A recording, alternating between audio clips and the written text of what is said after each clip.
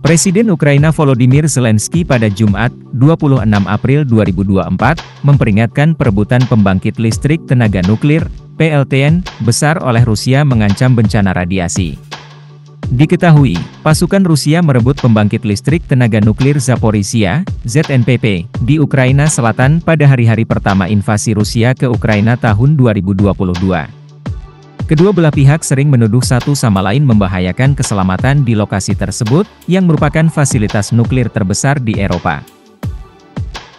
Selama 785 hari ini, Rusia telah menyandera PLTN Zaporizhia, kata Zelensky di media sosial pada peringatan bencana nuklir Chernobyl tahun 1986, dikutip dari AFP.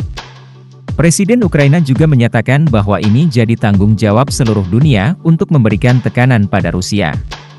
Tekanan itu untuk memastikan bahwa ZNPP dibebaskan dan dikembalikan ke kendali penuh Ukraina, serta bahwa semua fasilitas nuklir Ukraina dilindungi dari serangan Rusia.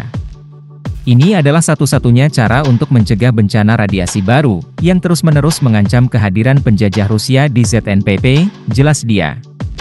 Seruan tersebut muncul 38 tahun setelah kehancuran pembangkit listrik tenaga nuklir Chernobyl di Ukraina Utara, yang saat itu merupakan bagian dari Uni Soviet.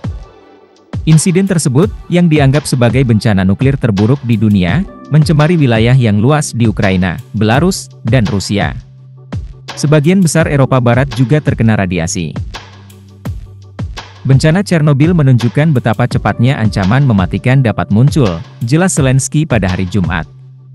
Pasukan Rusia merebut fasilitas Chernobyl yang dinonaktifkan pada 24 Februari 2022, atau hari pertama invasi mereka, ketika Rusia mengirim pasukan ke Ukraina dari Belarus, tetapi meninggalkannya beberapa minggu kemudian.